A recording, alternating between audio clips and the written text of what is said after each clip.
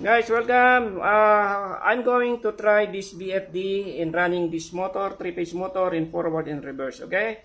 So I'm going to use a control, an external control. Green is forward, then this uh, red is for reverse, okay? So before doing that, make sure you wired properly your VFD. This is the input power and downside is the UB connection, okay? UVW, make sure you wire it properly and our external control. So let me run it in forward. Okay, so that is forward.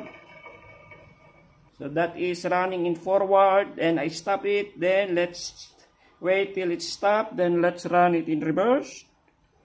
Okay, so the motor is running at reverse at this frequency, around 30.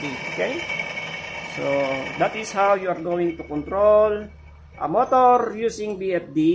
Okay.